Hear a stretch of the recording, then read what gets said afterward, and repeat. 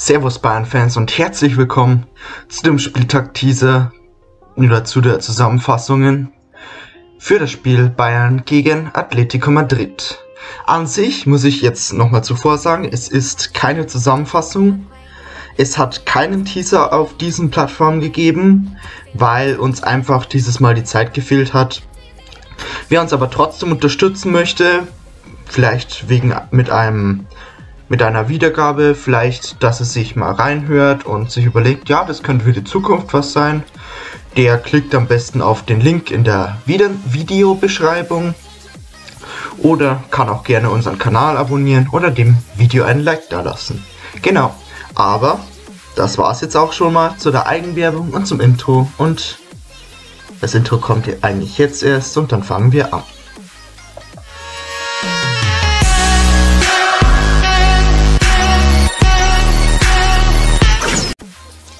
Und hier sieht man schon mal die beiden letzten Spiele.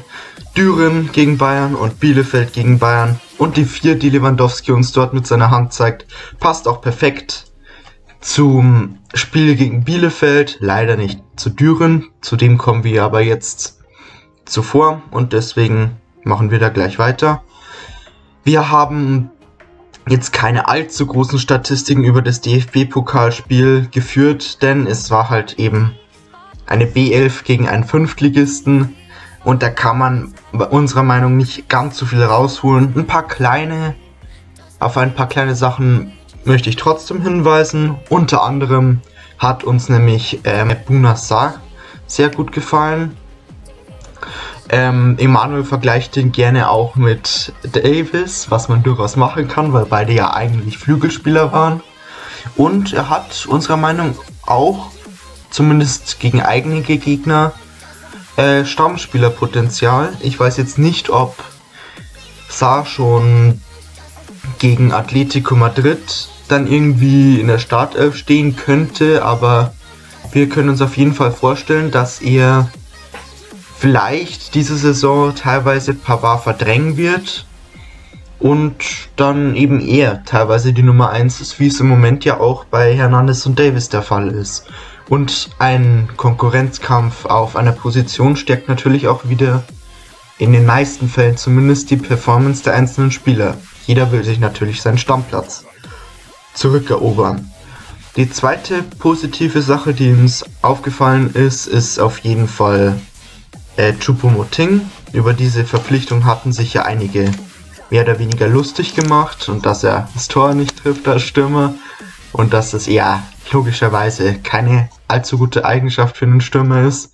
Aber mit zwei Toren hat er uns da eigentlich das Gegenteil bewiesen und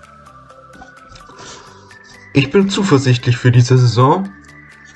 Mal schauen, ob's Triple wieder wird. Den ersten Schritt im Pokal haben wir auf jeden Fall dafür gemacht.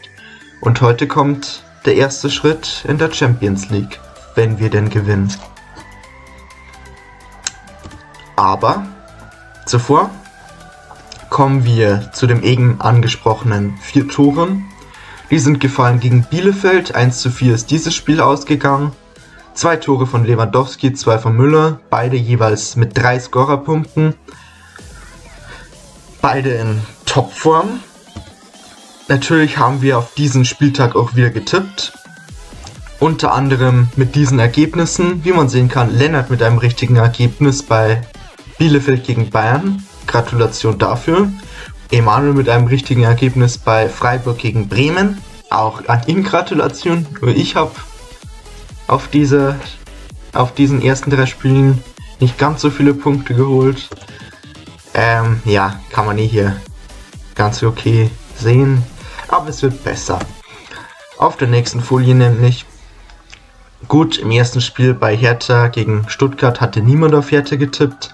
Aber die restlichen Ergebnisse schauen eigentlich ganz in Ordnung für mich aus und auch für Emanuel. Leonard lässt sich hier mal etwas hängen. Aber ja. Auf der nächsten, bei den nächsten drei Spielen schaut es dann wieder deutlich schlechter aus. Ist auch blöd, drei Unentschieden zu tippen, vor allem noch 3-1-1. Es sind in allen acht Spielen, bis auf Bayern, nicht mehr als zwei Tore gefallen. Es gab 4 1 zu 1, 2 mal 2 zu 0 und 2 mal 0 zu 1 und dann kommt eben Bayern mit dem 4 zu 1 daher. Also es war, hm, ich würde sagen, langweiliger Spieltag.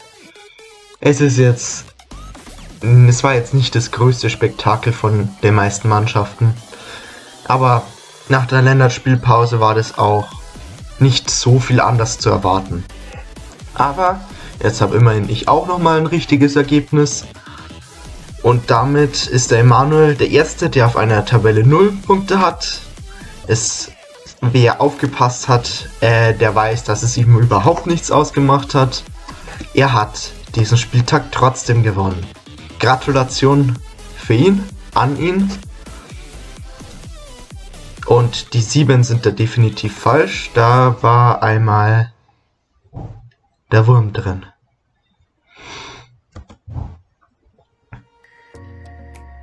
Und dann kommen wir zur Spielebewertung. Wir also für Spiel gegen Bielefeld. Wir hatten folgende Aufstellung. Neuer im Tor, Hernandez, Süle, Alaba und Pavard in der Verteidigung. Hernandez mit einer 2 plus, Süle mit einer 3 plus, Alaba mit einer 2 plus und Pavard mit einer 3. Ähm, Hernandez und Alaba haben deutlich offensivere Parts gespielt als Pavard und Süle und weil dieser Teil wohl deutlich mehr gefragt war in diesem Spiel als der defensive Part, haben die auch dementsprechend bessere Noten bekommen. Tulisso und Goretzka beide mit einer soliden 2 und 2 minus. Haben ordentliches Spiel gemacht. Mehr, viel mehr kann man eigentlich nicht sagen. Außer natürlich, Goretzka hat eine Vorlage gegeben, wo er wirklich sehr gut gespielt hat und sehr geistesgegenwärtig gehandelt hat. Tulisso leider mit einer roten Karte. Es war jetzt nicht unbedingt seine Schuld, aber zum Schluss war es halt dann doch auch etwas ungestüm von ihm. Dann die Dreier Offensivreihe hat bis auf Müller eigentlich nur vergleichbar schlechteren, schlechte Noten bekommen. Koman und Gnabry waren wirklich nicht allzu effektiv. Gnabry hatte ganz am Anfang mal eine sehr interessante Gelegenheit, von ihm ist aber dann auch gar nichts mehr gekommen. Ähnlich wie bei Koman, aber ihn hat man dann doch noch ein paar Mal öfter gesehen. Müller natürlich Doppelpack plus Vorlage. Er kommt in dieser Saison aus keinem Spiel ohne Vorlage. Außer halt im Pokal. Also er ist echt krass in Form. Ähnlich natürlich wie der Mann in der Spitze, Robert Lewandowski, auch mit einer 1-. Die gleiche Statistik, zwei Tore, eine Vorlage. Aber er kommt im Gegensatz zu Müller schon auch mal ein Spiel ohne Tor aus. Siehe Hoffenheim. Sonst hat er aber in jedem Spiel mindestens einmal getroffen oder gescored in dem er mitgespielt hat für Bayern. Und ich glaube sogar, er hat sogar in jedem Spiel eine, ein Tor und eine Vorlage gegeben, wenn er gescored hat. Müsste ich jetzt nachschauen, könnt ihr uns auch gerne in die Kommentare schreiben. Da bin ich mir gerade nicht ganz sicher. Dann schauen wir auf die Bank und dort haben wir Costa mit einer 2-, hat unserer Meinung nach mehr nach vorne gemacht als die beiden Star Startelf äh, Coman und Gnabry und hat deswegen auch eine bessere Note verdient mit einer 2 Ähm, werden wir auf jeden Fall beobachten, wie er sich in den nächsten Spielen so macht. Bei Martinez schaut's leider etwas schlechter aus. Er hat eigentlich nichts Wirkliches vollbracht, außer einen katastrophalen Rückpass zu spielen, der zu einer roten Karte geführt hat, deswegen eine 3 minus auch wenn er nicht lang auf dem Feld war, war ist es dann doch schon nicht ganz so gute Leistung. Dann Erik Maxim Choupo-Moting, Musiala und Davis sind dann noch später eingewechselt worden, haben aber dementsprechend auch wenig gespielt, sodass wir sie nicht bewerten können. Genau. Dann sind wir fertig mit der Spielbewertung und dann kommen wir zum Teaser zum ersten Champions League Spieltag, wo Bayern direkt gegen Atletico Madrid spielt. Und es wird auf jeden Fall ein interessantes Spiel, ob Bayerns Offensivpower gegen Atletico Madrids Defensivpower ankommt und wie sich die Bayern-Defensive macht, die ja zurzeit mehr oder weniger reformiert wird durch Hernandez auf der linken Seite und vielleicht auch Sach auf der anderen Seite. Können wir auf jeden Fall gespannt sein. Da Richards wird wahrscheinlich nicht dabei sein, weil der hat im Ligaspiel von FC Bayern 2 schon gespielt. Da werden wir uns also in der Innenverteidigung auf weniger Überraschungen gefasst machen können. Falls es so richtiges Deutsch war.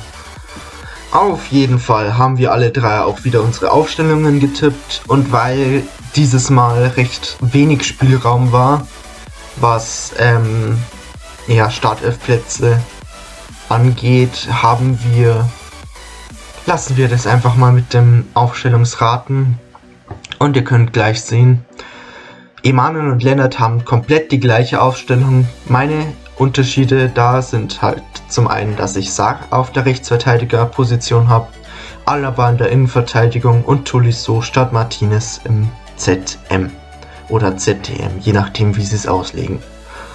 Und ihr könnt uns ja gern mal eure Meinung zu den Aufstellungen oder eure Aufstellung generell in die Kommentare schreiben. Und dann kommen wir auch schon zu unseren Tipps. Es sind jetzt einige mehrere geworden. Für einen Champions League Spieltag sind es ja immerhin 16 Spiele. Deswegen werde ich die Tipps nicht alle vorlesen. Ich werde sie euch einfach im Schnelldurchlauf zeigen. Einige Spiele davon sind natürlich schon gespielt. Wir nehmen natürlich trotzdem unsere Tipps von vor dem Spieltag. Ähm, bei Bayern war es so, dass Emanuel und Lennart auf einen knappen Bayern-Sieg tippen, ich hingegen auf ein Unentschieden.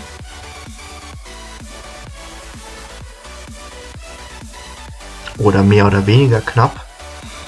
Lennart mit einem 4 zu 1, äh, Emanuel mit einem 2 zu 1 und ich eben mit besagtem Unentschieden.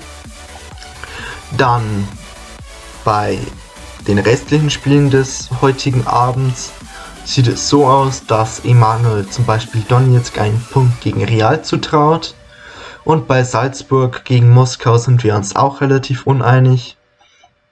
Lennart tippt äh, sogar auf einen Sieg von Ajax gegen Liverpool. Und die letzten vier Spiele des heutigen Abends schauen dann folgendermaßen aus da bei diesen Spielen sind wir uns bis auf Piraeus gegen Marseille relativ einig, was die Siege angeht. Und recht viel mehr kann man dazu auch nicht sagen. Gladbach wird wahrscheinlich einen relativ schweren Start in die Champions League Saison haben. Aber dann würde ich sagen, war es das mit diesem Spieltag-Teaser. Ich nenne es jetzt nicht Zusammenfassung aus besagten Gründen. Und wie gesagt, wenn sie euch gefallen hat, dann würden wir uns über ein Like und ein Abo freuen. Und schaut am besten auch auf Spotify und vor allem Apple Podcasts, da geht sie jetzt zurzeit, zurzeit besonders ab, äh, vorbei. Und sonst gibt es nichts mehr so zu sagen. Und dann wünsche ich euch noch viel Spaß beim Bayern schauen und tschüss.